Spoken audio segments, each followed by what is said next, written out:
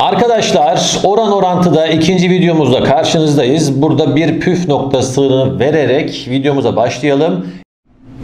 X sayısı Y sayısı ile doğru, Z sayısı ile ters orantılı ise X çarpı Z bölü Y K'dir demiş. Aslında buna benzer soru görmüştük ama bunu direkt söylememiştik. Hatırlarsanız mesela A artı 2B eksi 1 ile doğru orantılıdır deyince sayılarımızı alt alta vererek çaprazlamıştık.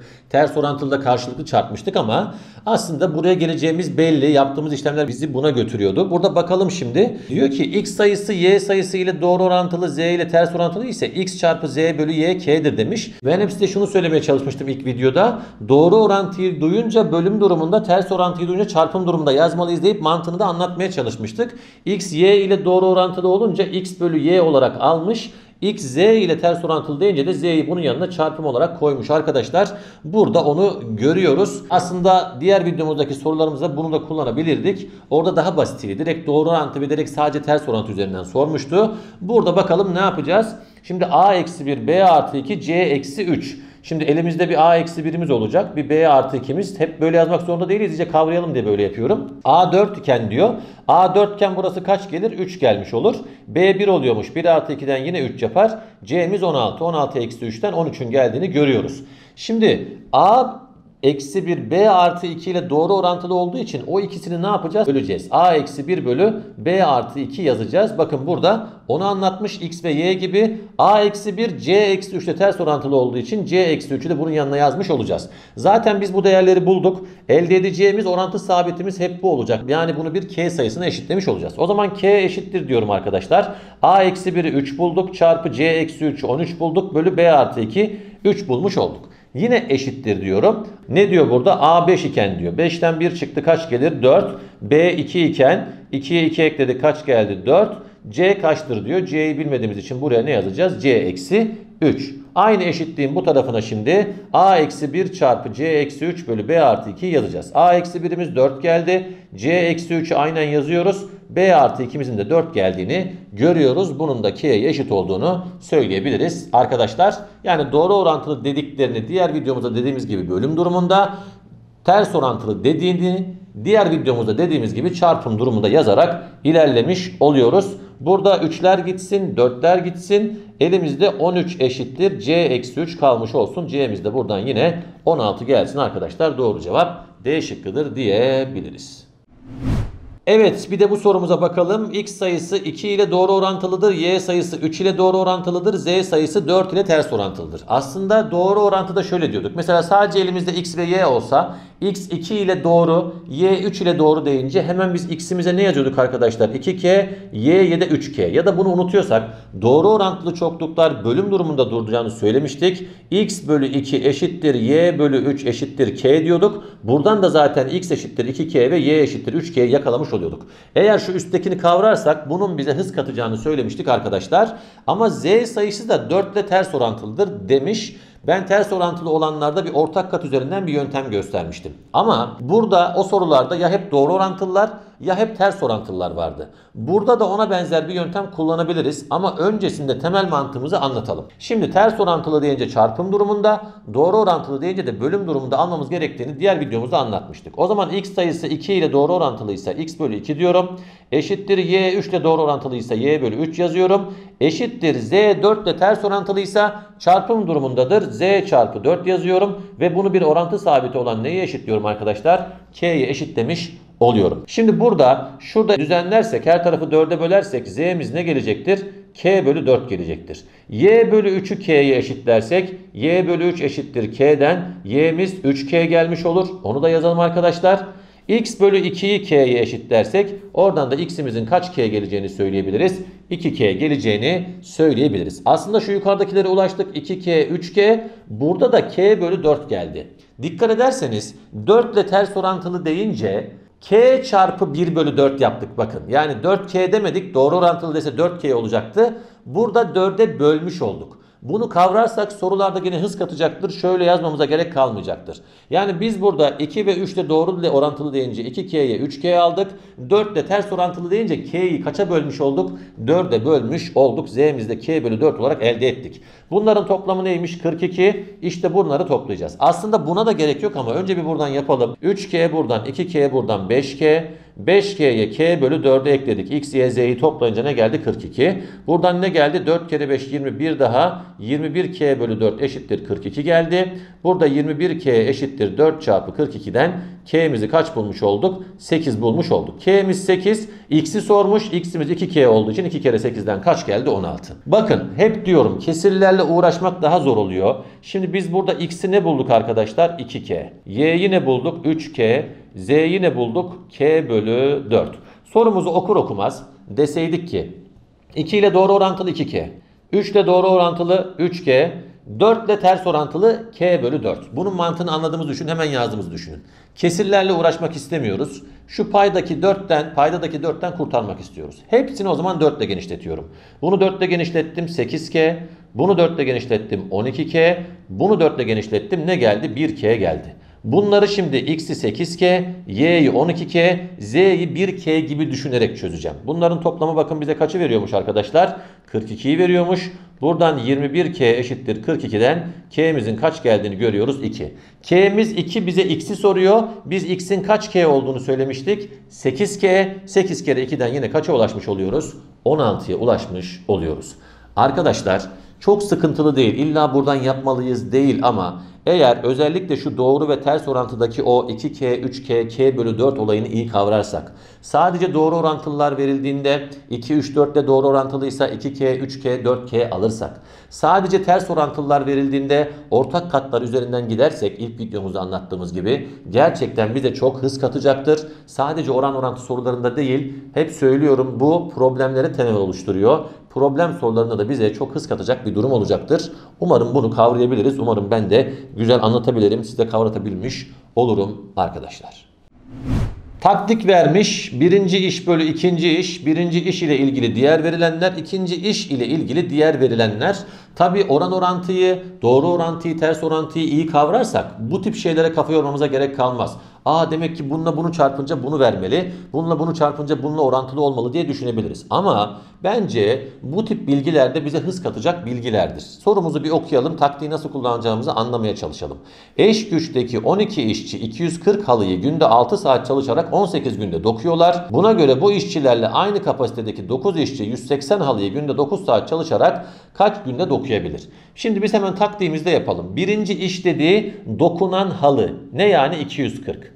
Bölü ikinci iş dediği dokunan halı yani kaç? 180 eşittir diyorum. Birinci iş ile ilgili diğer verilenler. 240'ı bir kenara koyduk. Diğer verilenler 12 çarpı 6 çarpı 18 bölü ikinci iş ile ilgili diğer verilenler 180'i bir kenara koyduk. 9 çarpı 9 çarpı kaç gün demiş ya gün sayımıza da x demiş olalım. Buradaki x'i yakalamaya çalışıyoruz arkadaşlar. Bakın böyle bir eşitlikte ben en başta oran orantıda söyledim. İçler dışlardan gidebiliriz ama karşılıklı olanlarda sadeleştirme yapmak bize hız katacaktır. Mesela ben bunu 60'a bölsem 4 gelir. Burayı 60'a bölsem tabi burada bölüm durumunda olanları sadeleştiriyorum. Ne gelmiş olur? 3. Karşılıklara bakalım. 4'e böldüm 1. 4'e böldüm ne geldi? 3 geldi. 3'e böldüm 1. 3'e böldüm ne gelmiş oldu? 3. Mesela karşı tarafta sol tarafta hep 1 kaldı. Her şey gitti. İç, aslında şu geliyor elime bakın. 1 bölü 1 eşittir. Burada ne kaldı? 3 çarpı 6 çarpı 18. Alt tarafta 3 çarpı 9 çarpı x kalmış oldu. E karşılığının 1 gelmesi için altlı üstlü bunların birbirine ne olması gerekir? Eşit olması gerekir. O zaman 3 çarpı 6 çarpı 18 eşittir. 3 çarpı 9 çarpı x deriz. 3'ler gider. 18'i 9'a böldük 2. 6 kere 2'den x'imiz kaç gelmiş olur? 12 gelmiş olur. Doğru cevap 12'dir diyebiliriz. Temel mantığımız şu olsun.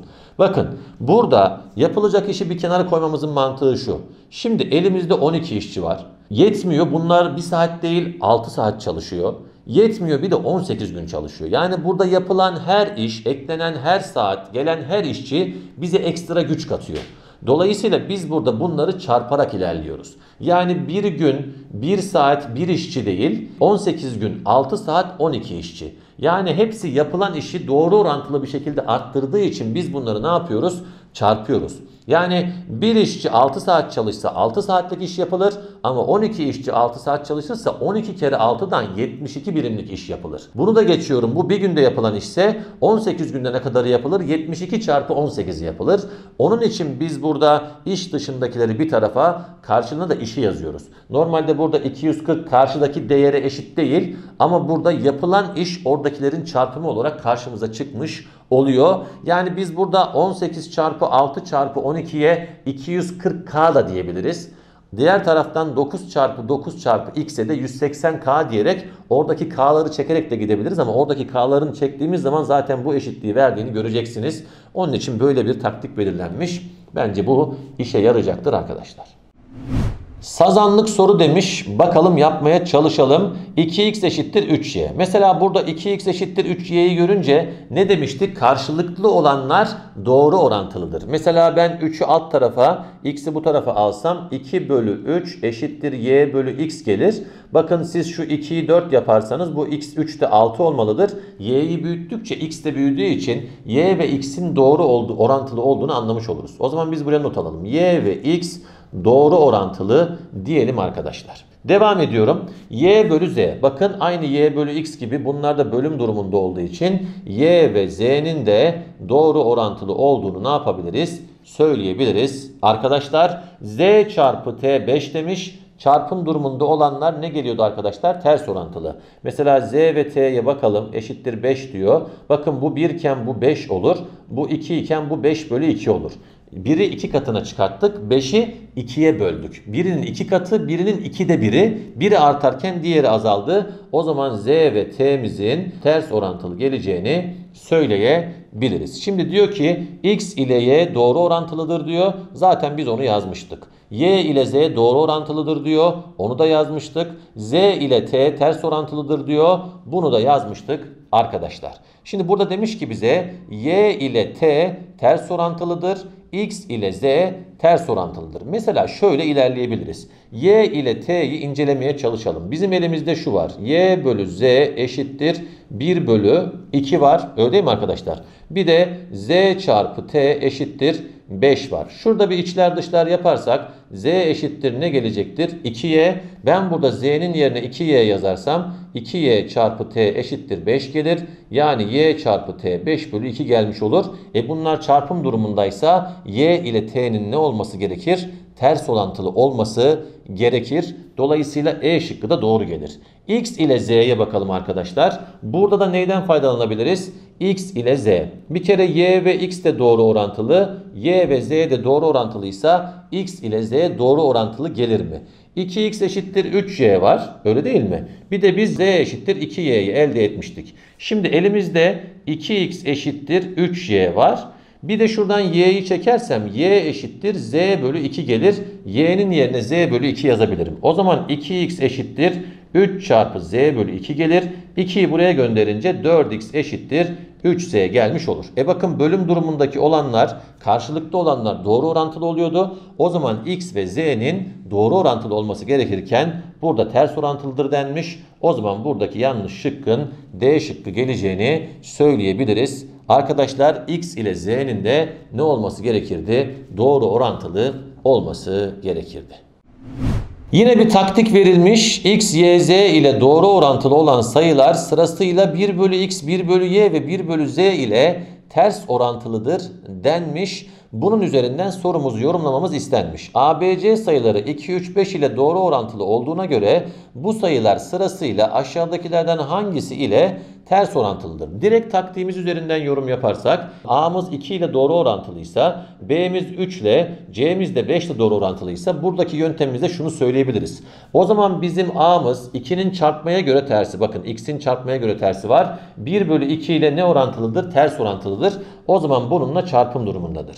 Aynı mantıkla B'miz 3'ün çarpmaya göre tersi olan 1 bölü 3 ile ters orantılıdır. 1 bölü 3 dedik. Eşittir. C'miz de 5'in çarpmaya göre tersi olan 1 bölü 5 ile ters orantılıdır diyebiliriz arkadaşlar. Aslında biz bunları doğru yaptık ama bizden bu kesirli sayılar değil de tam sayılar istenmiş. Bunu nasıl yapacağız? Ters orantıda bunun mantığını anlatmıştık. 2, 3, 5 var. Bunların paydalarındaki 2, 3, 5'ten kurtarmaya çalışacağız. 2, 3, 5'in ortak katı olan her tarafı 30 ile çarparsak doğru yolda gitmiş oluruz diye düşünüyorum. Her tarafı 30 ile çarpınca 30 çarpı a bölü 2'den 15a gelir.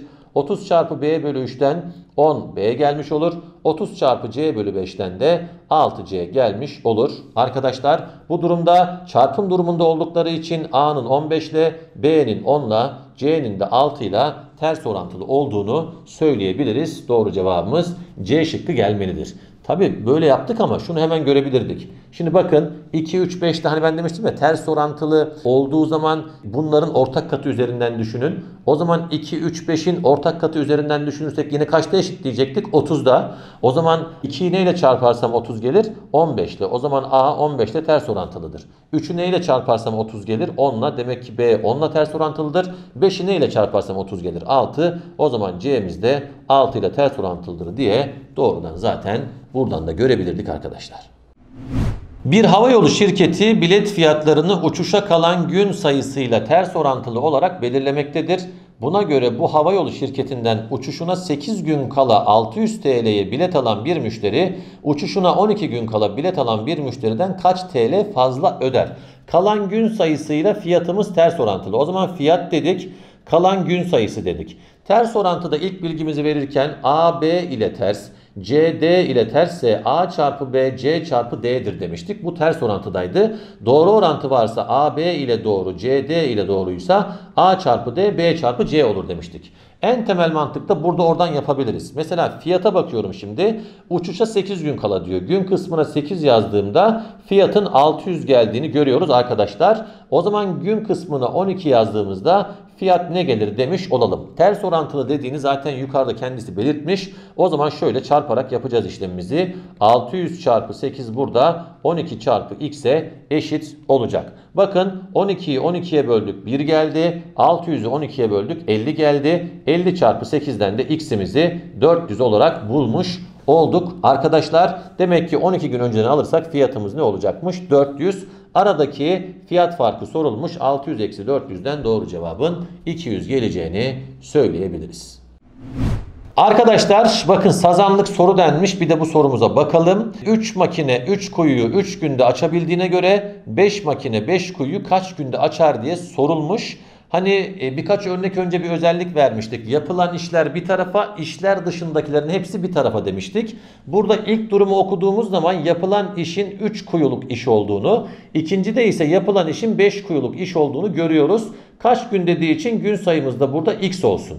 O zaman ben 3 kuyunun 3'ünü yazdım. Bölü 5 kuyunun da 5'ini yazıyorum eşittir diyorum. Şimdi üst tarafa 3 kuyuluk işi yazmıştım. Onun karşısına o 3 kuyuluk iş dışındaki kalanları yazıyorum. Yani 3 makine ve 3 günü yazıyorum. 3 çarpı 3 dedim. Bölü alt tarafta ise 5 kuyuluk iş olduğu için o kuyuyu bir tarafa yazdım. Onun karşısına kuyu dışında kalanları yazıyorum. Yani 5 makine ve x günü 5 çarpı x olarak yazmış oluyorum arkadaşlar. Burada bakın şu 3'ler birbirini götürsün. Şu 5'ler birbirini götürsün. 1 bölü 1 eşittir 3 bölü x gelsin. x'imiz de buradan 3 olarak bulunmuş olsun. Yani yine bu işin de 3 günde biteceğini söyleyebiliriz arkadaşlar.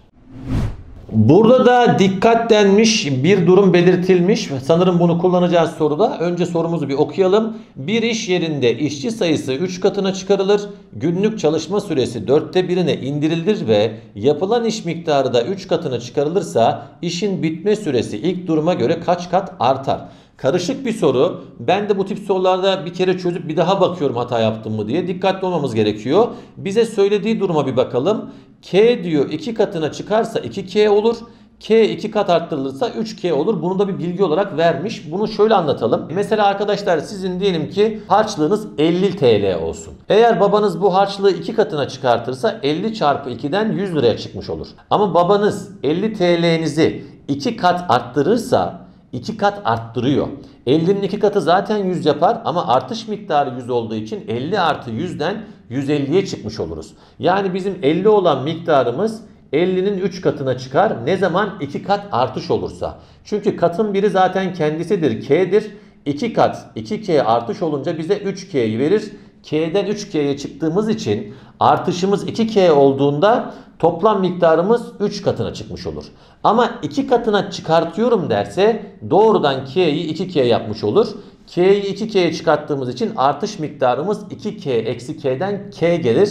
Lütfen buna dikkat edelim. Oradaki cümlelerimiz de önemli. Şimdi burada diyor ki bir iş yerinde işçi sayısı 3 katına çıkartılır. Çalışma süresi 4'te birine indirilir diyor. Yani şöyle düşünebiliriz. Hani biz doğru orantıdan ve ters orantıdan bahsederken aynı oranda artış, aynı oranda azalış demiştik. Şimdi işçi sayısı 3 katına çıkartılıyor. O zaman harcayacağımız vakit 3'te 1'ine düşer. Burada tam sayılarda sıkıntı olmuyor ama kesirlerde bazen sıkıntı oluyor. Mesela işçi sayısını 3 bölü 2 katına çıkartırsanız harcayacağınız vakit bunun çarpmaya göre tersi olan 2 bölü 3'üne düşer. Buna dikkat edeceğiz arkadaşlar. Mesela şöyle diyelim işçi sayısı 4 katına çıkarsa harcayacağımız vakit 4'ün çarpmaya göre tersi olan 1 bölü 4'üne düşer. Şöyle bir örnek vereyim. Diyelim ki 60 çarpı 2 eşittir. Kaçtır arkadaşlar? Diyelim ki 120 çarpı 1. Bakın 60'ı 2 katına çıkartınca 2 2'de 1'ine düşüyor. 1'e düşüyor. Örneğin 60 çarpı 2 eşittir 40 çarpı 3. Biz 2'yi 3'e çıkartmışız. Yani 3 bölü 2 katına çıkartmışız. 60 2 bölü 3'ü olan 40'a düşüyor. Çünkü 60 çarpı 2 bölü 3 bize neyi verecektir? 40'ı verecektir. Buna burada dikkat edelim. Aslında bu çok önemli. Dediğim gibi oran orantıdaki bu güzel oran kullanma mantıklarını yakalarsak sorularımızı daha hızlı çözebiliriz. Şimdi diyor ki bir iş yerinde işçi sayısından bahsetmiş ya. İlk duruma göre işin bitme süresi kaç kat artar demiş. İlk durumda işin bitme süresine biz x demiş olalım arkadaşlar. Sayısal bir şey de verebilirsiniz daha rahat hareket etmek adına. Ama biz x'ten gidelim. Şimdi diyelim ki son durumda 4x bulursak x'ten 4x'e çıktığımızda 4 katına çıkmış oluruz. Ama 3 katı arttırmış oluruz gibi buna dikkat edeceğiz. Şimdi bir iş yerinde işçi sayısı 3 katına çıkartıldı. Bakın 3 katına çıkıyorsa bitirme süremiz 3'ün tersi olan 1 bölü 3'üne düşecektir. Onun için bitirme süremizi 1 bölü 3 ile çarparız. Çalışma süresi 4'te 1'ine indiriliyor. Yani 1 bölü 4'üne. Çalışma süremiz 4'te 1'ine indirilirse bitme süresi 4'te 1'in yani 1 bölü 4'ün çarpmaya göre tersi olan 4 katına çıkmış olur. Yapılan iş miktarı da 3 katına çıkartılacak. Biz aynı iş üzerinden bu hesabı yapmıştık. Bu iş 3 katına çıkarsa harcayacağımız sürede 3 katına çıkar. Az öncekiler ters orantıydı. Buradaki doğru orantı gelecektir. Bunu kaçla çarpacağız yani? 3 ile çarpacağız. Hani en baştan beri diyorum doğru orantı mı ters orantı mı neyi kullandığımızı fark etmemiz önemli. Tekrar söylüyorum eğer işçi sayısı 3 katına çıkarsa ve iş miktarı değişmezse gün azalır. Bakın işçi sayısı arttı gün azalıyor ters orantı. Çalışma süresi indirilirse ve iş değişmezse gün sayısı artar. Dolayısıyla biri düştü biri arttı ters orantı onun için verilen değerlerin çarpmaya göre tersleri üzerinden gittik. Ama son durumda biz işimizi hesapladık. x çarpı 1 bölü 3 bölü 4. Ama diyor ki bu iş gibi 3 tane yap diyor. O zaman gün sayımız iş artınca gün sayımız da artacağı için doğru orantılı bir şekilde 3 katına çıkmış olur. Ve son durumda 3'ler giderse 4x gün harcayacağımızı bulmuş oluruz. X gün harcayacaktık. Son durumda 4x gün harcamamız gerekiyor. O zaman arkadaşlar işi bitirme süremiz 4 katına çıktı. Ama 4x eksi x'ten artışımızın x'in 3 katı olduğunu görüyoruz. İşin bitirme süresi ilk duruma göre kaç kat artar dediği için ilk duruma göre işi bitirme süremizin 3 kat artıp 4 katına erişeceğini söyleyebiliriz. Aslında bir soru iki satırlık bir soru ama üzerinde çok şeyden bahsettik. Umarım açıklayıcı olmuştur yaptığımız anlatımlar.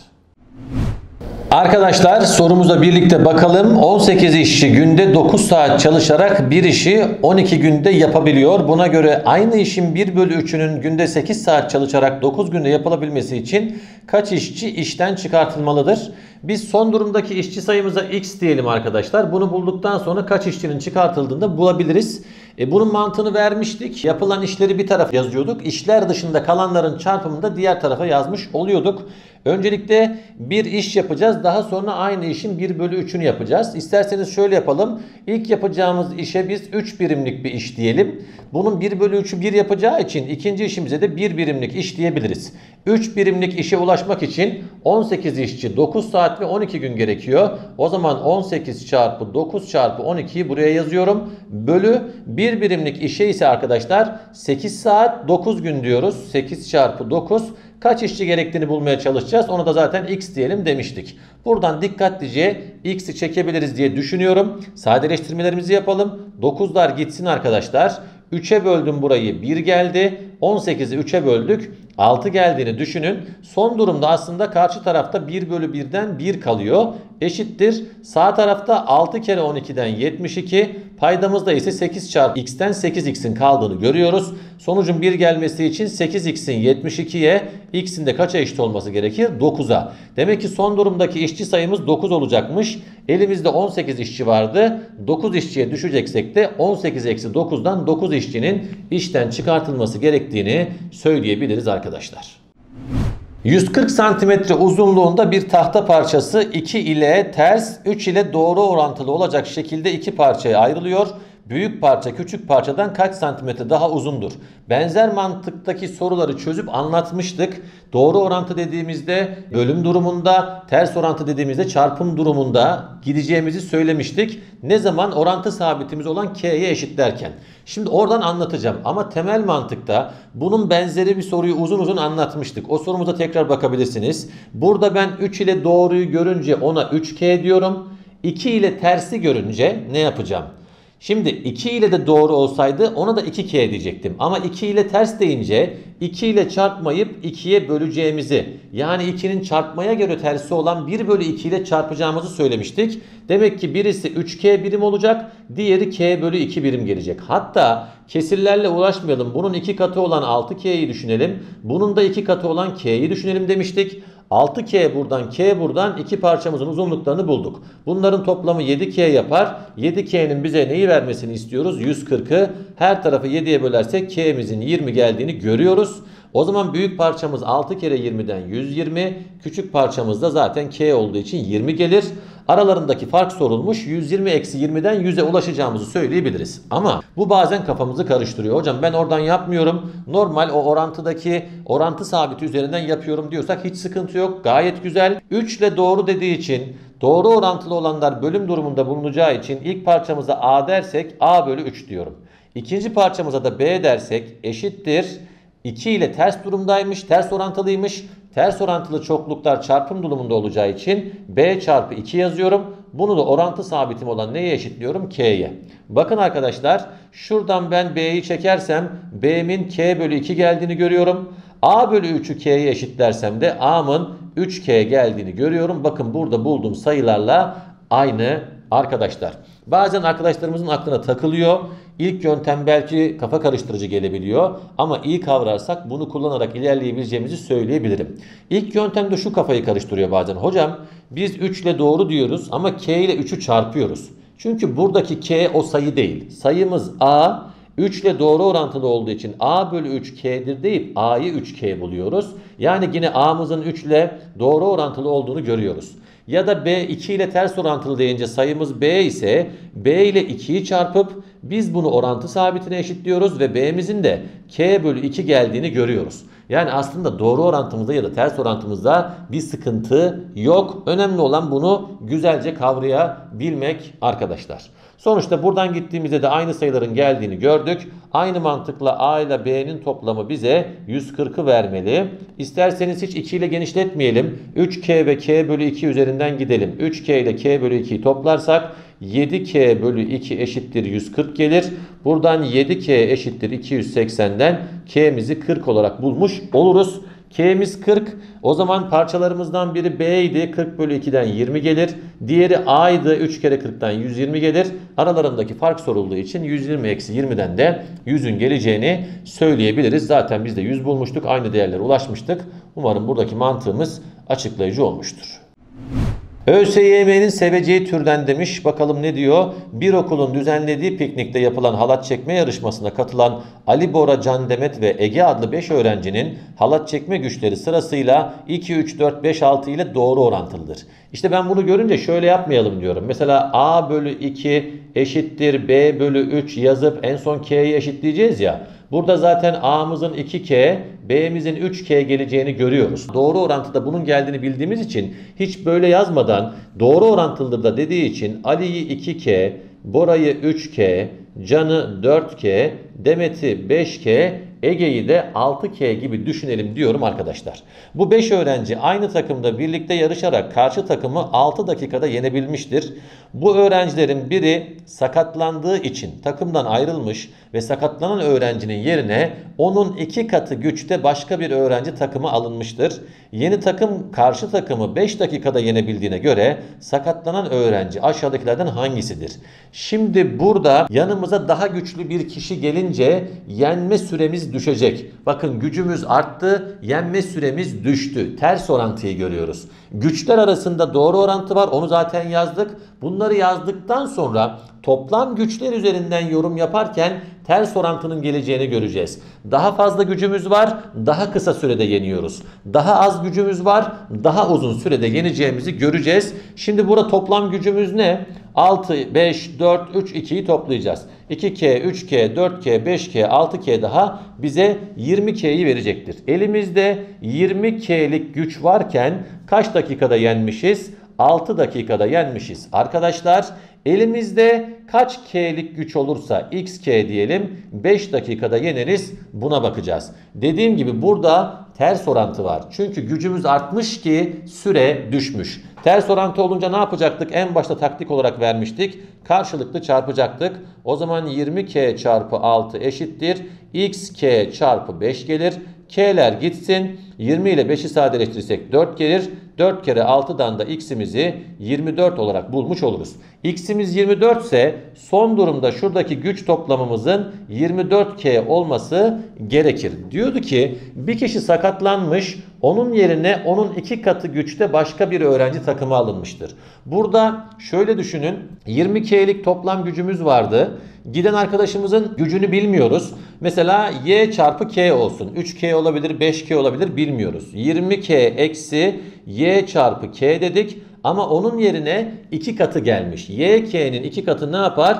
2YK yapar. Bu toplam bize neyi vermiş arkadaşlar? 24K'yi vermiş. O zaman biz buradan 20K eksi YK artı 2YK'den artı YK'yi topladığımızda 24K'ye ulaşacağımızı buradan da Y'mizin 4 geleceğini söyleyebiliriz. Toplam gücümüz 20K idi. 4K'lik gücü olan can sakatlanmış 16K'ye düşmüşüz. Ama 4K'nin 2 katı güçteki 8K'lik birisi gelince tekrar 24K'ye çıkmışız. 20K'yi de aşmışız ve 6 dakika olan yenme süremiz 5 dakikaya düşmüş. Demek ki burada sakatlanan öğrencinin 4K'lik gücü olan arkadaşlar can olduğunu doğru cevabın C şıkkı geleceğini söyleyebiliriz.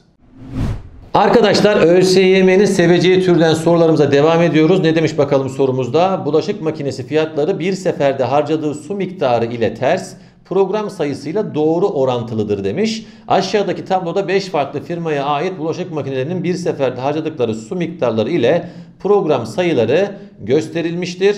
Buna göre yukarıdaki buzdolabı makinelerinden hangisi daha ucuzdur diye sorulmuş. En ucuzu yakalamaya çalışacağız. Aslında bunun mantığını söylemiştik. Hem ters orantılı hem doğru orantılı verdiğinde ters orantılı dediği çoklukla çarpım durumunda, doğru orantılı dediği çoklukla bölüm durumunda olması gerekir demiştik. Buradaki fiyatımızı F ile gösterirsek F'miz su miktarımızda tersse su miktarını S ile gösterirsek F çarpı S diyeceğiz. Aynı F değeri program sayısıyla doğru orantılıysa program sayısında P ile gösterirsek onunla da bölüm durumunda olacak. Bu bize bir orantı sabiti verecek. Mesela buradaki A markanın fiyatı A, B markanın fiyatı B, C'ninki C, D'ninki D, E'ninki de E olsun. Her biri üzerinden K'ye eşitleyelim. Yani K eşittir diyelim. Mesela A'nın fiyatı A, fiyat çarpı Su miktarı kaç? 2 bölü program sayısı 2 dedik. Eşittir diyorum aynı K'ye B'nin fiyatı B çarpı e, bir seferde harcadığı su miktarı 1,8 bölü ne diyeceğiz arkadaşlar? Program sayısı 3 demiş olacağız. Eşittir diyorum C çarpı 1,6 bölü 4 diyeceğiz. Eşittir D çarpı 1,5 bölü 5 demiş olacağız. Eşittir E çarpı 1,2 bölü 6 demiş olacağız. Arkadaşlar aslında hep ne yapmış? 2'den 1,8, 1,6 diye düşmeye başlamış. Program sayısı 2, 3, 4, 5, 6 diye artmaya başlamış. Bence bakın burada şu A'ya odaklanırsak eğer arkadaşlar zaten ikiler gidiyor. K'nin ne geldiğini görüyoruz. A geldiğini görüyoruz. Mesela en sondaki E çarpı 1,2 bölü 6'ya odaklanalım. K eşittir E çarpı 1,2 bölü 6 dediğimizde 1,2 ile 6 sadeleşirse burada 5 kalır. E'miz ne gelmiş olur? 5K gelmiş olur. Bakın burada arkadaşlar bizim A'dan E'ye giderken S'lerimiz hep ne yapıyor? Aslında küçülüyor paydalarımız yani paydaki sayımız çarptığımız sayı küçülüyor.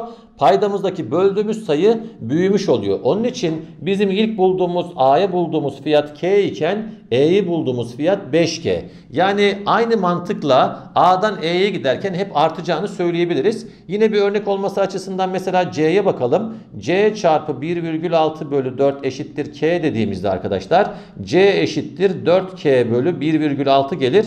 Bu da bize 2,5K'yi verir. Yani burada K'den başlayıp artarak gideceğiz. Niye?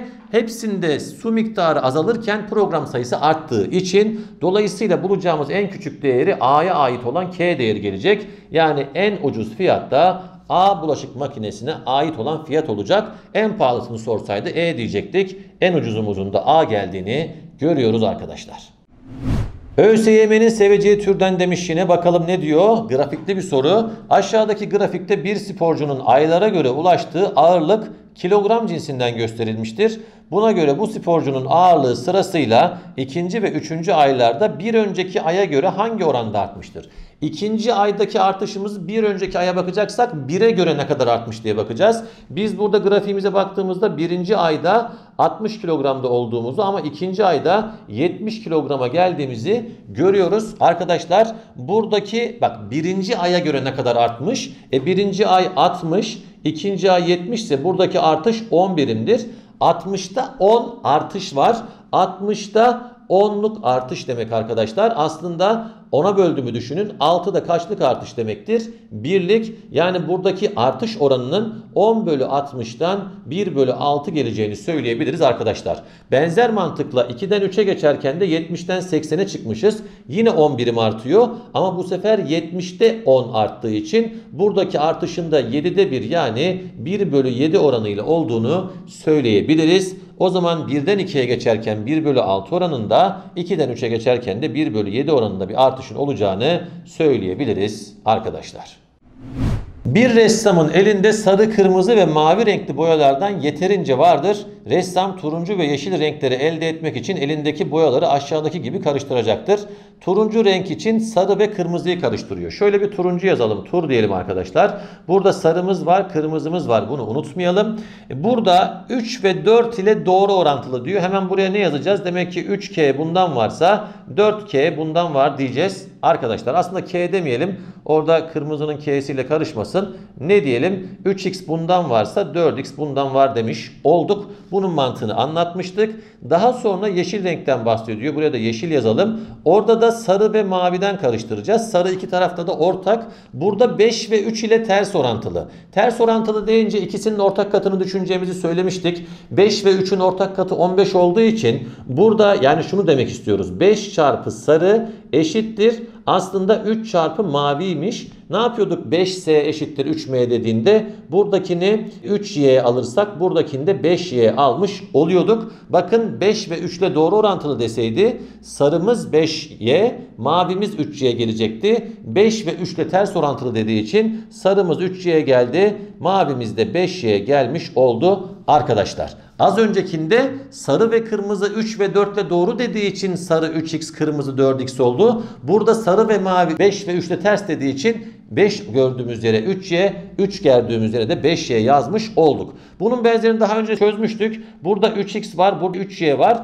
Tamam. Mesela bazen 3x'e 4y olduğu için ortak katları üzerinden gitmeye çalışıyorduk. Burada zaten iki tarafta da 3 olduğu için tek bilinmeyen üzerinden gidebiliriz. Burası 3x'e 4x olsun. Bunu da x cinsinden yazalım. 3x'e kaç x gelmiş olsun arkadaşlar?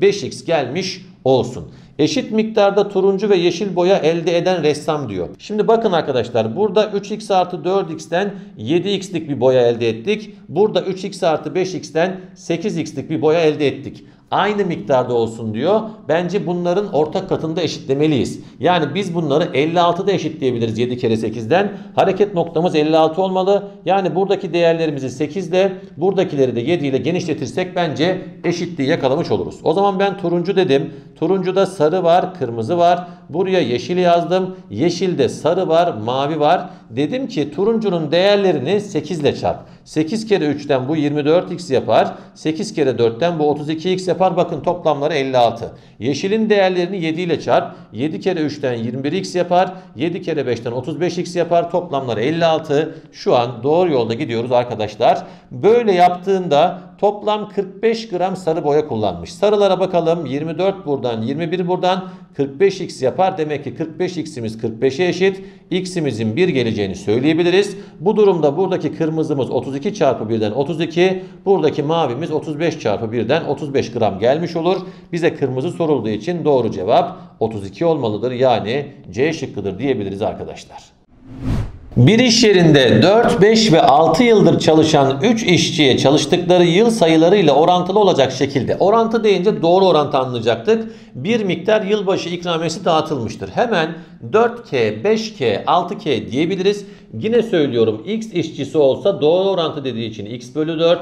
Y işçisi olsa Y bölü 5. Z işçisi olsa doğru orantı Z bölü 6 eşittir. K dediğimizde bakın Z'nin 6K, Y'nin 5K, X'in 4K geldiğini görüyoruz. İstersek oradan yapabiliriz. İstersek anladıysak eğer mantığımızı zaten bunları görünce doğrudan 4K, 5K ve 6K'yi yazacağımızı söyleyebiliriz arkadaşlar.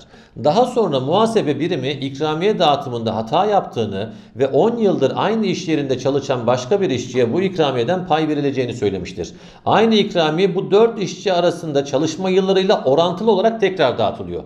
Hep söylüyorum şimdi farklı bir durum olduğu için K kullanmayın başka bir şey kullanın kafamız karışmasın. Bu sefer de ne diyeceğiz? 4M, 5M, 6M bir de işin içine ne girdi? 10M. Çünkü bakın burayı toplarsak zaten 15K yapıyor. Burada da K'li yazsaydık 25K olacaktı. E aynı para hem 15K hem 25K olmayacağına göre M üzerinden yazdık hata yapmayalım diye arkadaşlar.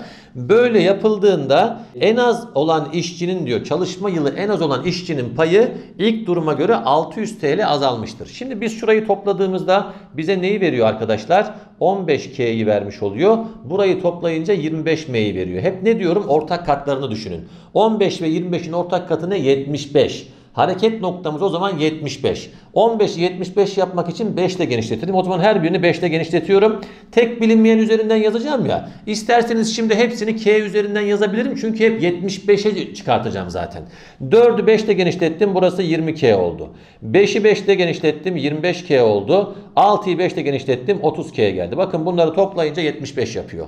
25'i 75 yapmak için 3 ile çarpacağım için buraları 3 ile çarpıyorum. Artık eşit miktarı tutturdum. Tek bilinmeyen üzerinden yazabilirim. Burayı 3 ile çarptığımda 12K geldi. 3 ile çarptım 15K geldi. 3 ile çarptım 18K geldi. 3 ile çarptım 30K gelmiş oldu. 30 18 daha 48.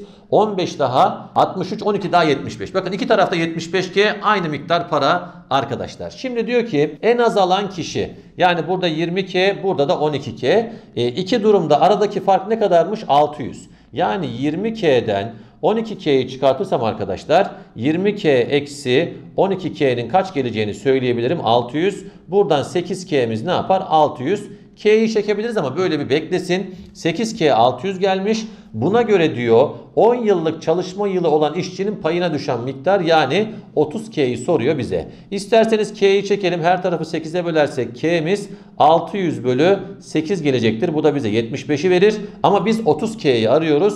O zaman 30K eşittir. 30 çarpı 75 gelir. 3 kere 75 225 yapar. Bir de 0 atarsak 2250'ye ulaşmış oluruz. Doğru cevabımızın B şıkkı gelmesi gerekir. Umarım o geçişteki mantık açıklayıcı olmuştur arkadaşlar. ÖSYM'nin seveceği türden sorularımıza devam ediyoruz. Aynı anda sabah koşusuna başlayan Mehmet ve Mine'nin koşu performanslarıyla ilgili şunları biliyoruz. Mehmet dakikada 400 metre koşarken Mine dakikada 300 metre koşuyor. O zaman mesela birisi 1 dakikada 400 diğeri 300. 2 dakikada bu 400 çarpı 2 diğeri 300 çarpı 2. X dakikada bu 400 çarpı X bu 300 çarpı X. Bu oran hep korunuyor. Yani 400 bölü 300'den gelen 4 bölü 3 oranının hep korunduğuna dikkat edin arkadaşlar. Mehmet koşmayı hedeflediği mesafenin 2 kilometresini koştuğunda Mine'nin koşmayı hedeflediği mesafeden 3 kilometre kalmıştır. Aynı miktar koşmayacaklar. Çünkü iki farklı durum vermiş. Buna göre sabah koşusunu aynı anda tamamlayan. Bakın aynı yolu koşmuyorlar. Aynı sürede koşuyorlar. Aynı süre koşmuşlarsa koştukları miktarlar 4'e 3 oranında bunu anladık. Koşularını aynı anda tamamlayan Mehmet ve Mine'nin koştuğu toplam mesafe kaç kilometredir? Mesela bakın şimdi birisi 4K koşacak, biri 3K. Toplamları 7K. Şıklardan hangisi 7'nin katı? Hep dersiniz ya hani hocam test yöntemi olsun. Hayatta böyle bir şey kullanmam ama sizin hoşunuza gidiyor. 7'nin katı burada 10.5 var. Hani 7'nin 1.5 katı. Sanırım cevap o gelecek. Bir bakalım ne olacak. Şimdi Mehmet diyor 2 kilometre koştuğunda. 2 kilometre kaç metre yapar? 2000 metre. Şuraya ben Mehmet yazmak istiyorum arkadaşlar. Buraya da Mine yazmak istiyorum. Mehmet'in 2000 metre koşmasını istiyorum. Mehmet dakikada 400 koşuyorsa süremizi bulmak için 2000'i 400'e böleriz. Yolu hıza böldük. Kaç geldi? 5. Yani 5 dakika geçtiğinde diyor arkadaşlar. Mine'nin koşmayı hedeflediği mesafeden 3 kilometre kalmıştır. Şimdi arkadaşlar bakın dikkat edin. 5 dakika geçtiğinde Mine de 5 dakika koşuyor. O zaman Mine'nin aldığı yolda 5 kere 300'den ne yapar? 1500 yapar. Ne zaman? Mehmet 2000 koştuğunda. Bakın 2000'in 1500'e oranı yine neyi verecek bize? 4 bölü 3'ü verecek hiç sıkıntı yok. Mine bu kadar koştuğunda koşacak daha 3 kilometresi varmış. O zaman 1500'ün üstüne ne kadar ekleyeceğiz? 3000 metre bize neyi verecek arkadaşlar? 4500 metreyi vermiş olacak. Dediğim gibi Mine 3000 koşarken aynı süre yol aldıkları için buradaki 4 bölü 3 oranı korunmalı. Yani Mehmet'in de ne kadar koşması gerekir? 4000 koşması gerekir ki 4000 bölü 3000'den 4 bölü 3 gelmiş olsun. E o zaman 4000 artı 2000'den de Mehmet toplamda 6000 koşmuş olur. Bakın 6000'in 4500'ü oranı da yine nedir zaten? 4 bölü 3'tür. Bakın demek ki Mehmet toplamda 6000, Mine 4500 koşmuş. Toplamları 10500 yapar. Bu da bize 10500 metre, 10,5 kilometreyi verir. Doğru cevabın B şıkkı olması gerekir arkadaşlar.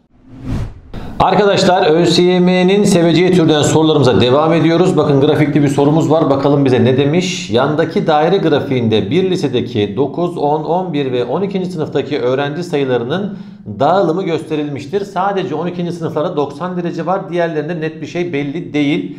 12. sınıfların sayısı 11. sınıflardan 30 fazla, 10'lardan 20 fazla, 9'ların yarısından 20 fazladır. Toplam öğrenci sayısı. Burada şuna dikkat edebiliriz. 12. sınıf 90 derece. Geriye kalanlar 360 eksi 90'dan 270 derece. Yani 9, 10, 11'in toplamı 12'nin kaç katı gelecek? 3 katı gelecek. Buna dikkat edelim arkadaşlar. Ben şimdi şuraya 12. sınıf yazacağım. Buraya 11, buraya 10, buraya da 9 diyeceğim. Hareket noktam 9. sınıflar olacak. Çünkü 9. sınıfların yarısı demiş. Bence ben 9. sınıfları 2x alayım. Yarısını hesaplamak kolay olsun. Buradan 12. sınıflara geçtiğim zaman 9. sınıfların yarısından 20 fazladır diyor. 2x'in yarısı x gelecektir. Buna da 20 eklediğimizde 12. sınıfların sayısını bulmuş oluruz. Tekrar okuyorum. 12. sınıflar 11'lerden 30 fazla. O zaman 12'lerden 30 çıkartırsam 11'leri bulurum. x artı 20 eksi 30'dan x eksi 10'un da bana 11'lerin sayısını vereceğini söyleyebilirim. 10. sınıflardan da 20 fazlaymış 12'ler. E 12'ler x artı 20 idi. x artı 20'den 20 çıkartırsam 10. sınıfları bulmuş olurum. Bu da bana neyi verecektir? X'i verecektir. Dediğim gibi bir tarafta 90 derece var. Bir tarafta da 360 derece eksi 90 dereceden 270 derece var. 90 bölü 270 bana neyi verecek? 1 bölü 3'ü.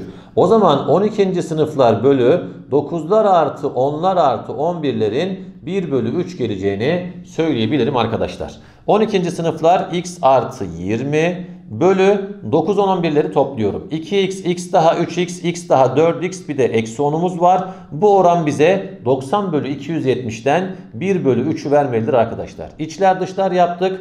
3x artı 60 şurası 3x tabi eşittir ne geldi? 4x eksi 10 geldi. Buradan da x'imizi 70 olarak bulmuş olduk. Toplam öğrenci sayısını soruyor arkadaşlar. 12'lerin sayısı 70 artı 20'den 90 kişi yapar. E şimdi demek ki 90 dereceye 90 kişi gelmişse 360 dereceye de 360 kişi gelecektir. Doğru cevabımızın C şıkkı olması gerekir. Arkadaşlar burada biraz aritmetik ortalamadan, geometrik ortalamadan bahsedelim. Aritmetik ortalamayı nasıl anlatmış? A1, A2, A3, AN sayılarının aritmetik ortalaması bunların hepsinin toplanıp adetlerine bölünmesiyle bulunur demiş. Diyelim ki burada 5 sayı varsa 5'ini toplayıp 5'e bölüyoruz. 10 tane sayı varsa 10'unu toplayıp 10'a bölmüş oluyoruz gibi. Devamında geometrik ortalama var. Burada da sayılarımızı çarpıyoruz arkadaşlar. Sayılarımızı çarptıktan sonra bu sayıları n'inci dereceden kök içine alıyoruz. n dediğimizde yine buradaki terim sayımız. Diyelim ki a1 çarpı a2 çarpı a8 desek eğer burada 8 tane sayı varsa kök derecemizi de 8 olarak belirlemiş oluyoruz. Orta orantılıdan da bahsedelim. A ve B sayılarının orta orantılısı x ise A bölü x eşittir x bölü b'dir denmiş. Tabi bir tanım olarak aklımızda durabilir çünkü karşımıza çıkabilir. Burada a bölü x eşittir x bölü b dediğimizde arkadaşlar içler dışlar çarpımı yaparak x'in karesi eşittir a çarpı b'yi elde edebiliriz. Her iki tarafın karekökünü aldığımızda da x eşittir karekök içinde a çarpı b gelmiş olur. Bence orta orantılıya dair bir şey sorulursa belki tanım olarak verilebilir ama yine de aklımızda bulunsun arkadaşlar.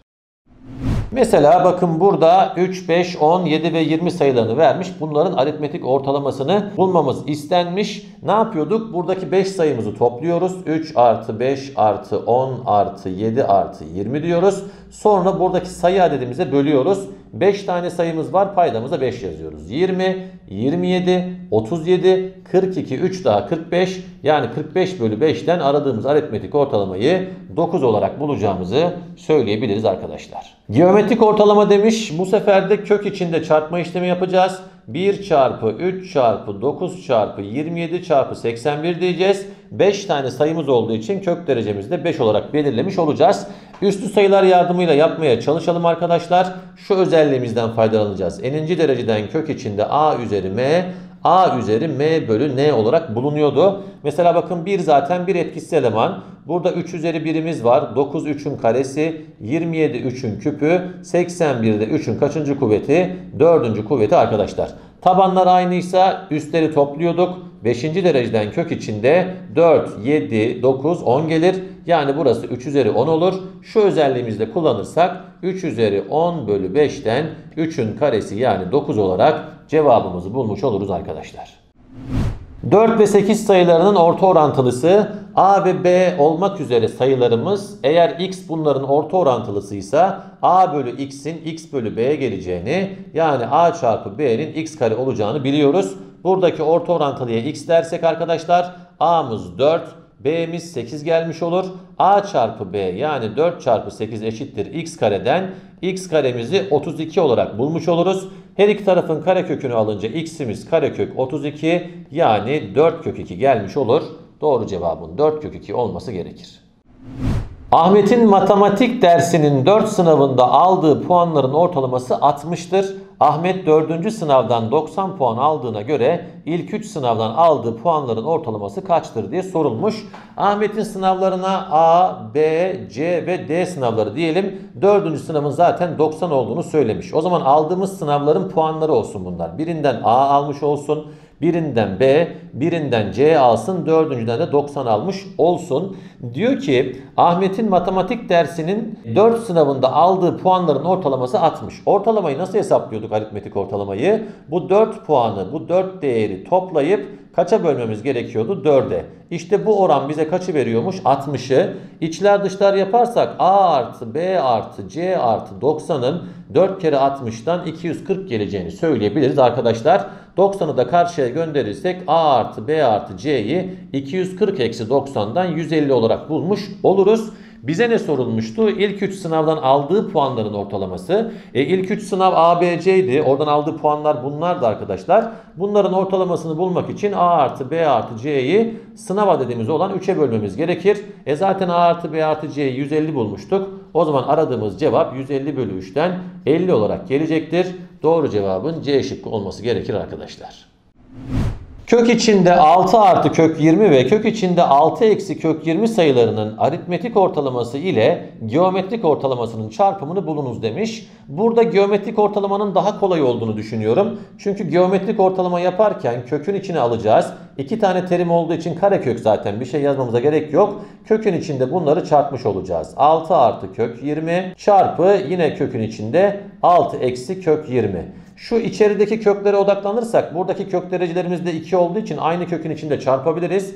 Yani dışarıdaki büyük kökümüz içerideki küçük kök içinde 6 artı kök 20 ile 6 eksi kök 20'yi çarpacağız. Bunlar eşlenik. Bunu köklü sayılarda anlatmıştık. Eşlenik çarpımında birincinin karesi eksi ikincinin karesi gelir.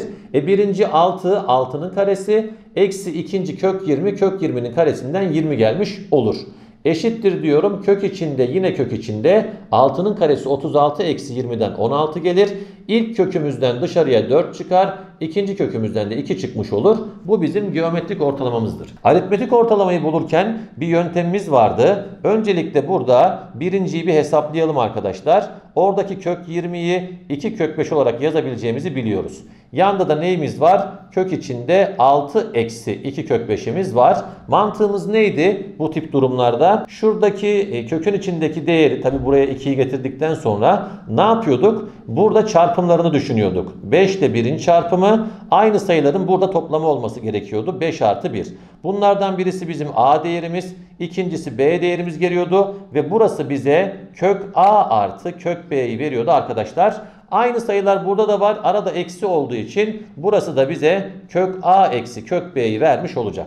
Bakın A'mız 5, B'miz 1 geldi. Yani burası aslında kök 5 artı 1'e eşitmiş. Burası da kök 5 eksi 1'e eşitmiş. Şimdi biz ne yapacağız? Aritmetik ortalamalarını bulacağız. Yani bunları toplayıp iki terim olduğu için ikiye böleceğiz. Zaten topladığımızda artı 1 eksi 1 birbirini götürür. 2 kök 5 bölü 2'den kök 5'i elde etmiş oluruz. Demek ki yukarıdaki bu sayıların aritmetik ortalaması da kök 5'miş. E geometrik ortalamaları 2 geldi. Aritmetik ortalamaları kök 5 geldi. Bunların çarpımı da 2 çarpı kök 5'ten 2 kök 5 olarak bulunmuş oldu arkadaşlar. A ve B sayılarının aritmetik ortalaması 3 deyince hemen A ile B'yi toplayıp 2 sayı olduğu için 2'ye böldüğümüzde 3 bulacağımızı o zaman A artı B'nin 2 kere 3'ten 6 geleceğini söyleyebiliriz. Geometrik ortalamaları ise 2 terim olduğu için karekökün içinde A çarpı B'nin bize 2 kök 2'yi getireceğini söyleyebiliriz arkadaşlar. Her iki tarafın karesini alırsak A çarpı B'miz 2 kök 2'nin karesinden kaç gelmiş olur? 8 gelmiş olur. Bize a kare ve b karenin aritmetik ortalaması sorulmuş.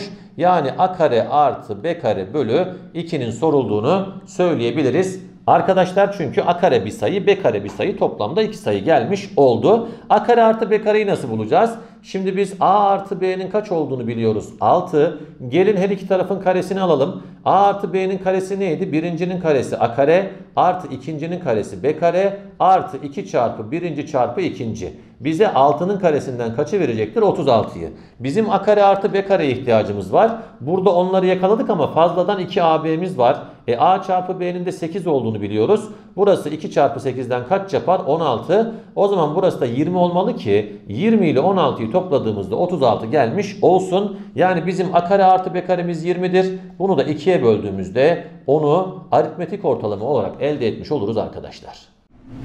Yeni bir sorumuz var. Buna da bakalım. 30 erkek ve 10 kız öğrencinin bulunduğu bir gruptaki bütün öğrencilerin yaş ortalaması 17,5. Yalnız kız öğrencilerin yaş ortalaması 16 olduğuna göre yalnız erkek öğrencilerin yaş ortalaması kaçtır? Arkadaşlar şimdi şuraya erkekler diyelim. Erkekler kaç kişi? 30 kişi. Buraya kızlar diyelim. Kızlar kaç kişi? 10 kişi. Erkeklerin yaş ortalaması x olsun. Kızların yaş ortalaması zaten 16 olarak verilmiş.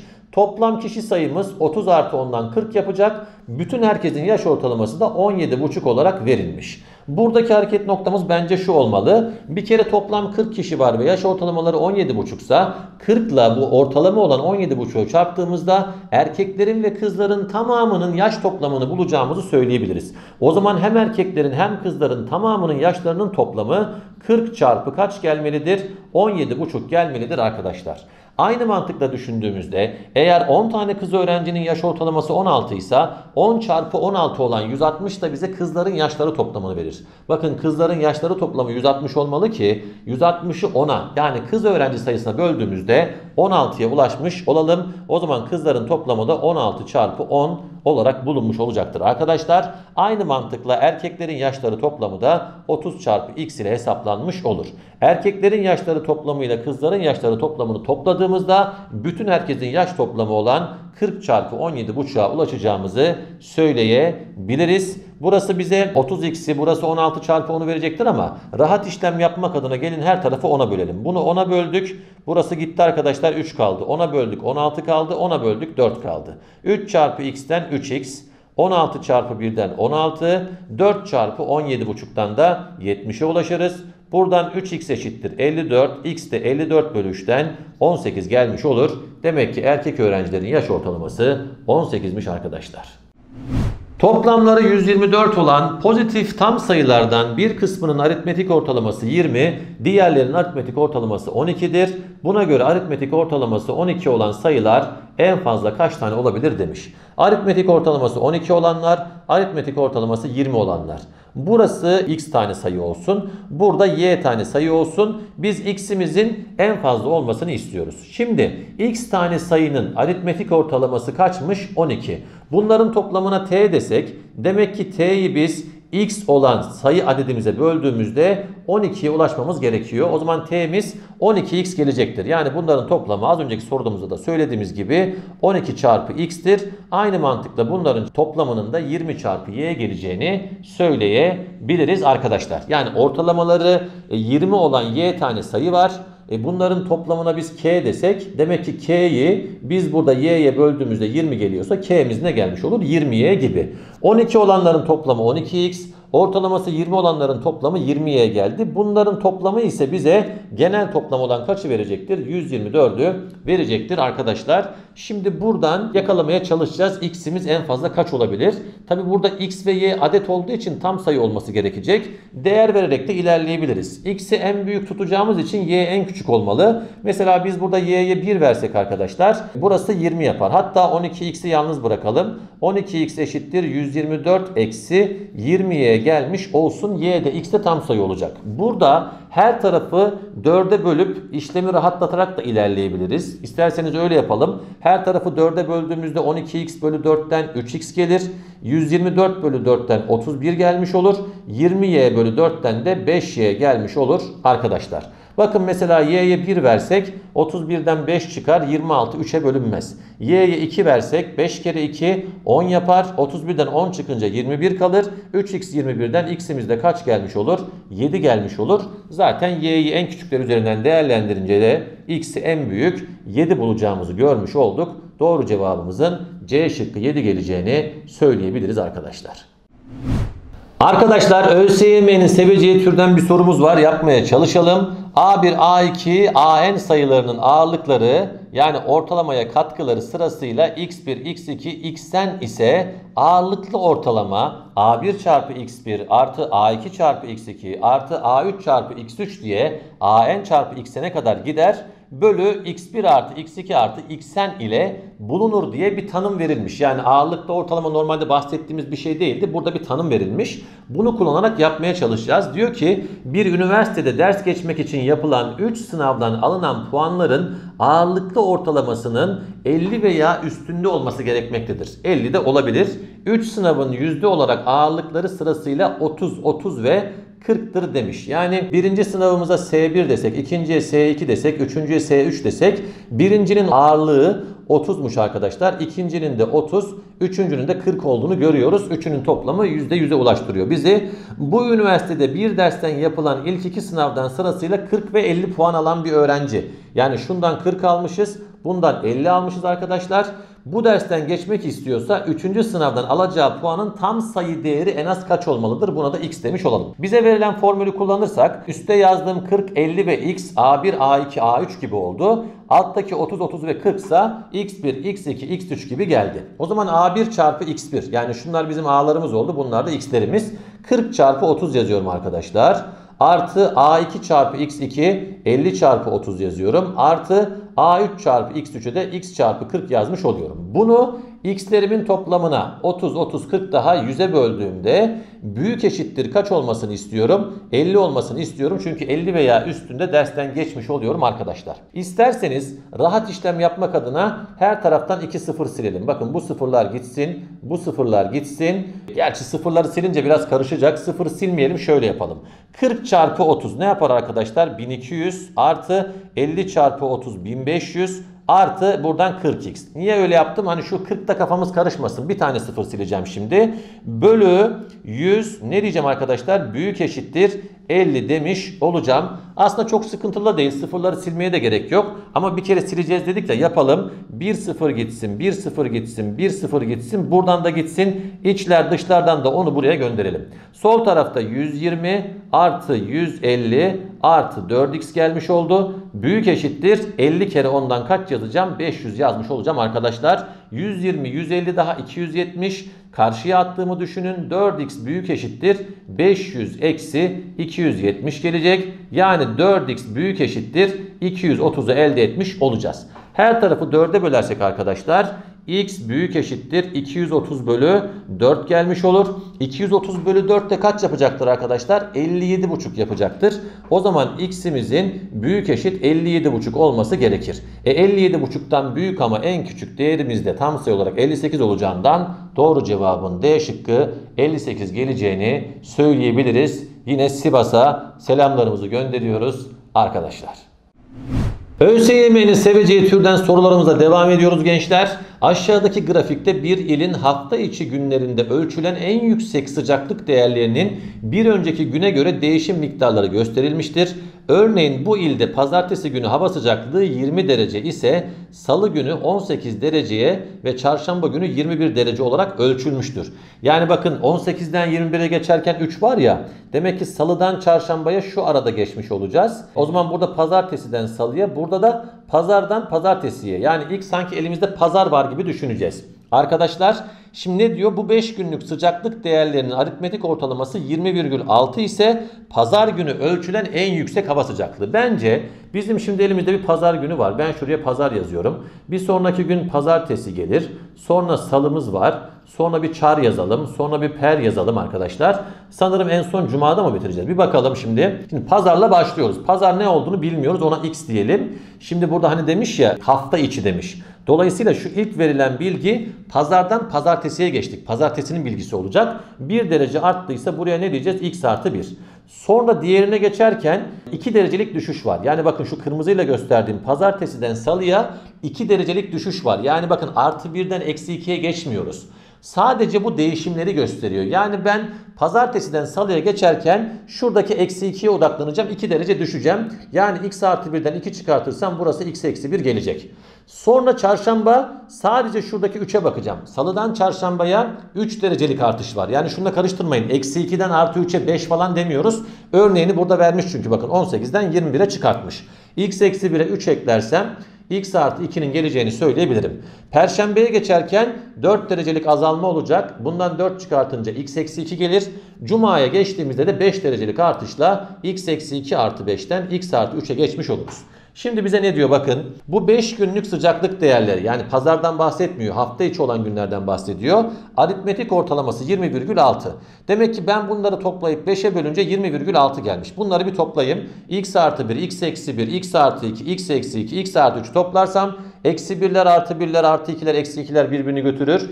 5x gelip bir de sanırım artı 3 geliyor. Bunu 5 güne böldüğüm için bu bana kaçı vermiş? 20,6. İçler dışlar yaparsam 5x artı 3 5 kere 20,6'dan 103 gelir. Buradan 5x eşittir 100'den x'imizi 20 olarak bulmuş oluruz. Bize neyi sormuş? Pazar günü ölçülen en yüksek sıcaklık yani x'i sormuş. E biz x'i 20 bulduğumuza göre doğru cevabın C şıkkı geleceğini söyleyebiliriz arkadaşlar. Bence tam sınav tarzı bir soru. ÖSYM'nin seveceği türden sorularımıza devam ediyoruz. Bir beldenin ABC köylerinde yaşayanların yaşlarıyla ilgili aşağıdakiler bilinmektedir. A köyündekilerin yaş ortalaması 60, B'dekiler 68, C'dekiler 80'dir. A ve B köylerindekilerin birlikte yaş ortalaması 64'tür. B ve C köylerindekilerin birlikte yaş ortalaması 76'dır. Buna göre bu 3 köyde yaşayanların tümünün yaş ortalaması kaçtır? Aslında bu tip orantı sorularında benim kullandığım bir tork yöntemi vardı. Fizikte falan da anlatılıyor. Oradan da yapabiliriz ama onu belki daha sonra o diğer problemlerde de anlatabiliriz. Önce bir klasik yöntemimizi anlatalım ama kavrayabilirsek oradan da ilerleyebiliriz arkadaşlar. Şimdi biz burada kişi sayılarını nasıl yakalayacağız? Örneğin A köyü diyelim, B köyü diyelim, C köyü diyelim. Burada A kişi olsun, burada B kişi, burada C kişi. Şimdi biz A köyündekilerin yaş ortalaması 60 ise A kişi varsa burada buradakilerin yaş toplamı ne gelir? 60 çarpı A gelir. B'dekilerin yaş ortalaması 68 ise yaş toplamları 68 çarpı B gelir. C'dekilerin yaş ortalaması 80 ise buradakilerin yaşlarının toplamı 80C gelir. Mesela bunların 5 kişi olsa 5 kere 80'den 400 ki yaş toplamı 400'ü 5'e bölünce 80 geliyor. Böyle düşünmemiz gerekir arkadaşlar. Şimdi burada A ve B köylerindekilerin birlikte yaş ortalaması 64. Ne yaparız? A'dakilerin toplamı artı B'dekilerin toplamı bölü toplam kişi sayısı. Yani 60A ile 68B'yi toplayıp toplam kişi sayısı olan A artı B'ye bölünce kaç geleceğini biliyoruz 64. Bakın içler dışlar yaparsak 60A artı 68B eşittir 64A artı 64B yapar.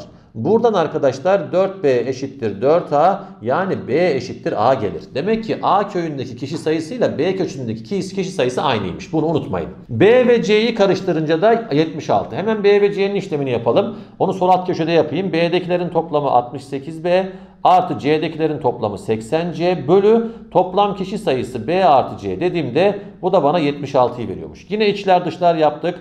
68B artı 80C eşittir 76B artı 76C geldi. Buradan arkadaşlar neyi görüyoruz? 80C'den 76C çıkarsa 4C geliyor. 76'dan 68 çıkarsa 8B geliyor. Yani C eşittir 2B yakalamış oluyoruz. C B'nin iki katıymış. E o zaman C A'nın da iki katı olur. Çünkü B A'ya eşitti. O zaman yeni kişi sayıları belirleyelim. Buradaki kişi sayımıza x dersek, buradaki kişi sayımızda x olursa buradaki kişi sayımız ne gelecek?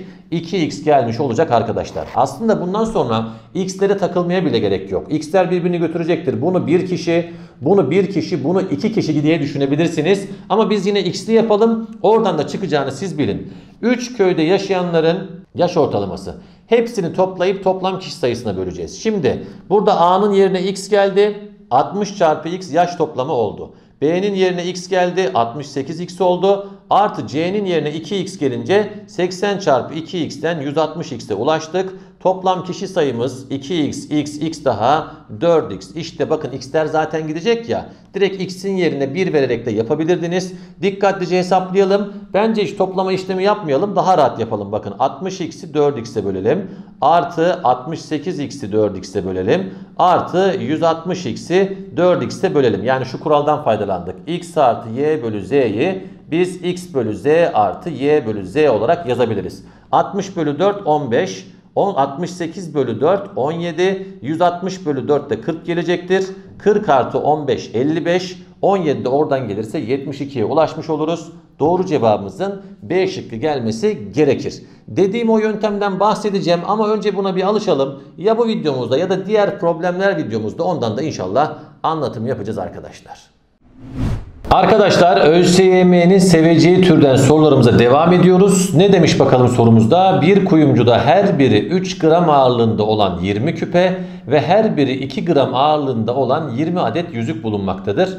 Kuyumcu bu küpe ve yüzüklerden bir kısmını satmıştır. Bu satış sonunda kuyumcunun elinde kalan küpe ve yüzüklerin ağırlıklarının ortalaması 2,6 gram olurken satılan küpe ve yüzüklerin ağırlıklarının ortalaması da 2,4 gram olmuştur. Buna göre kuyumcunun sattığı yüzüklerin sayısı kaçtır diye sorulmuş. Şöyle yapalım. Şimdi biz küpe sayımızın kaç olduğunu biliyoruz arkadaşlar. 20 olduğunu biliyoruz. Yüzük sayımızın da 20 olduğunu biliyoruz. Aslında dediğim gibi o tork yönteminden de yapabiliriz ama şuradan bir bakalım. Eğer uzamış olduğunu düşünürsek oradan da ilerleyebiliriz. Ama bence buradan da gelecektir arkadaşlar. Burada şuna dikkat edelim. Şimdi biz burada küpelerin ağırlıklarının ne kadar olduğunu biliyoruz arkadaşlar. 3'er gram. Yüzüklerin ağırlıklarının kaçar gram olduğunu biliyoruz. 2'şer gram. Örneğin Demiş ya burada kalan küpe ve yüzükler demiş. Bir de satılan küpe ve yüzükler. Satılanlar üzerinden yorum yapalım. A tane küpe satılmış olsun. B tane de yüzük satılmış olsun. Kalan küpe sayısı 20 eksi A olur. Kalan yüzük sayısı da 20 eksi B gelmiş olur. Satılanlar üzerinden yorum yapıyoruz. 20 tane küpenin A tanesi satılmış. Her biri 3 gramsa bunların ağırlıkları toplamı 3 çarpı A'dan ne yapacaktır? 3A yapacaktır. Artı satılan yüzükler B tane her biri 2 gramsa bunların ağırlıkları toplamı da 2 çarpı B'den 2B yapar. Biz bu satılan ağırlıklarda ortalama ağırlığı bulmuşuz ya 2,4 olarak. Bunu ne yaparız? Toplama ağırlığı satılan yüzük ve küpe toplamına böleriz. A tane birinden B tane birinden satıldığı için A artı B diyorum. Bu oranın kaç gelmesi gerekiyor? 2,4 gelmesi gerekiyor. İçler dışlar yaparsak 3A artı 2B eşittir. 2,4A artı 2,4B gelecektir. 2,4A'yı bu tarafa atarsak arkadaşlar 0,6A eşittir. 2,4B'den de 2'yi çıkartırsak ne gelmiş olur? 0,4B gelmiş olur. Her iki tarafı 10 ile genişletirsek 6A eşittir 4B gelir. Yani biz buradan aslında her iki tarafı 2'ye böldüğümüzde 3A eşittir 2B'yi elde etmiş oluruz arkadaşlar. 3A eşittir 2B ise satılan buradaki A değerini 2X dediğimizde B değerimizin kaç gelmesi gerekir? 3X gelmesi gerekir arkadaşlar. Bunu daha önce söylemiştik. Şimdi aslında A'yı ve B'yi bulduk. Burada 2x ve 3x'i de elde ettik. Şimdi bunu yakaladıktan sonra bir de şu 20 eksi a ve 20 eksi b üzerinden yorum yapalım. Buradan ilerlemiş olalım. Bakalım bu bize kaçı verecek? Onu yakalamaya çalışalım arkadaşlar. Şimdi a'mız burada kaç x gelmiş oldu? 2x gelmiş oldu. b'miz de kaç x gelmiş oldu? 3x gelmiş oldu. O zaman 20 eksi a'mız 20 eksi 2x yapar. 20 eksi b'miz de 20 eksi 3x yapar. Şimdi kalanlar üzerinden yorum yapacağız. Kalan 20 eksi 2x tane küpenin her biri 3 gram. Öyle değil mi arkadaşlar? 20 eksi 3x. Şurayı bir sileyim daha rahat işlem yapmak adına. Zaten a'yı 2x, b'yi 3x olarak belirlemiştik. Şimdi 20 eksi 2x tane küpenin her biri 3 gram. O zaman 3 çarpı 20 eksi 2x dedim. 60 eksi 6x geldi.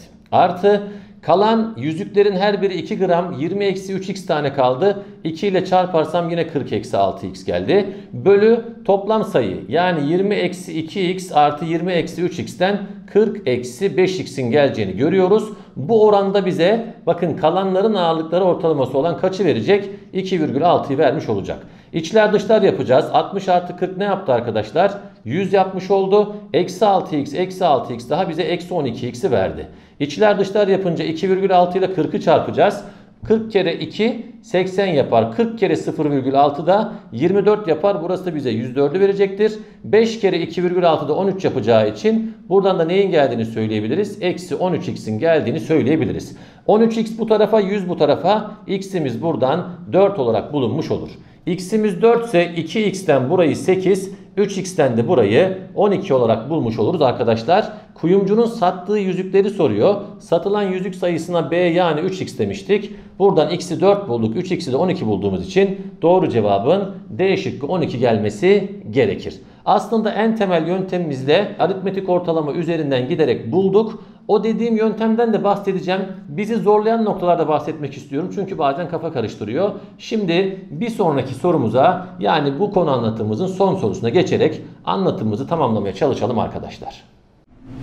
ÖSYM'nin seveceği türden bu sorumuzla bu konu anlatımımızı bitirelim inşallah. Ne demiş bakalım? Bir un fabrikasında üretilen bir miktar un bir makine yardımıyla her birinde 50 kilogram un olması gereken çuvallara yanlışlıkla 48, 50, 52, 54, 56 ve 58 kilogram olarak dağıtılmıştır. Makinenin yaptığı bu hatayı fark eden çalışanlar her çuvalda 50 kilogram un olacak şekilde çuvallardaki un miktarlarını yeniden düzenlemişlerdir. Buna göre çuvallardaki unun ağırlığının aritmetik ortalaması çalışanların düzenlemesinden sonra nasıl değişmiştir diye sorulmuş. Aslında ikinci durumdaki aritmetik ortalama her birinde 50 kilogram olacağı için istediğimiz kadar 50'yi toplayıp o adede böleceğiz. Diyelim ki 10 tane 50 olsa 10 çarpı 50 toplam miktar olacak. E bunu tekrar 10'a bölünce ne kalacak elimizde? 50. Zaten burada 3, 4, 5, 6 paket var belli ki. 6 çarpı 50 toplam miktar bunu 6'ya bölünce yine 50. Yani burada kaç tane çuval olursa olsun eğer her birine 50 koymuşsak zaten aritmetik ortalama yine bize o sayı olan 50'yi verecektir. N tane çuval olsa toplam miktar 50 çarpı N yapar. Bunu miktara n'e böldüğümüzde yine 50'ye ulaşmış oluruz. Demek ki ikinci durumda bir kere ortalamamız 50. Biz ilk durumdaki ortalamayı bulup bunun üzerinden gidebiliriz. Tabii ki şuradan ilerleyebiliriz. Bunların hepsini toplarız. 1, 2, 3, 4, 5, 6. Sonra bunu kaça böleriz? 6'ya böleriz. Mesela 48 ile 52'yi topladığımızda ne gelecektir arkadaşlar? 100 gelir. Öyle değil mi? 48, 52 daha 100 yaptı. Topluyorum hepsini. Artı 54 ile 56'yı toplayınca 110 gelmiş olur.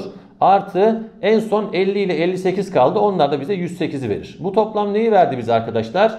318'i verdi. Elimizde de 6 çuval olduğu için bunu 6'ya bölünce 53'e ulaşmış olduk. Demek ki ilk ortalamamız 53'müş. İkincide de 50 geleceği için 53'ten 50'ye 3 azalacağını söyleyebiliriz aritmetik ortalamanın. Sadece burada şunu anlatmak istiyorum. Burada tek tek sayıları toplamak yerine 50'ye göre farkları üzerinden de gidebiliriz. Zaten her biri 50 olsaydı ortalamamız 50 gelecekti. Mesela 48 bize eksi 2 getiriyor. 50 zaten 50 artı 0 diyelim. Sadece farklara bakıyoruz. 52 50'den 2 fazla olduğu için bize artı 2 getirecek. 54 50'den 4 fazla olduğu için bize artı 4 getirecek. 56 50'den 6 fazla olduğu için artı 6. 58 de 50'den 8 fazla olduğu için bize artı 8 getirecek. İşte bu fazlalıkları ya da eksiklikleri toplayıp 6'ya böldüğümüzde 50'den ne kadar fazla ya da eksik çıkacağını bulabiliriz. Şunlar giderse 8 6 4 daha 18 yapar. 18 bölü 6 bize kaçı verir? 3'ü verir. İşte bu 18 şu 318'in 18'dir. 50'nin yanına gelen artı 3 de 18 bölü 6'dan gelmiştir. Yani buradan da 53'e ulaşacağımızı 50 artı 3'ten ilk ortalamamızın 53 olacağını bulabilirdik. Aklımızda bulunsun başka soruda işimize yarayabilir. Örneğin burada 50'den az olanlar daha çok olsaydı o zaman negatif çıkacaktı. Diyelim ki buraya biz eksiklerle fazlalıkları topladığımızda eksi 30 gelmiş olsun. Eksi 30'u 6'ya böldüğümüzde eksi 5 gelirdi. O zaman 50 eksi 5'ten ilk ortalamanın 45 olduğunu söylemiş olurduk. Arkadaşlar bu da bir bakış açısı olarak aklınızda kalmış olsun. Arkadaşlar bu videomuzun da sonuna geldik. Umarım anlattığımız sorular, yaptığımız çözümler, anlatmaya çalıştığımız mantıklar açıklayıcı olmuştur. Hepinizi seviyorum. Hepinize iyi çalışmalar diliyorum. Görüşmek üzere.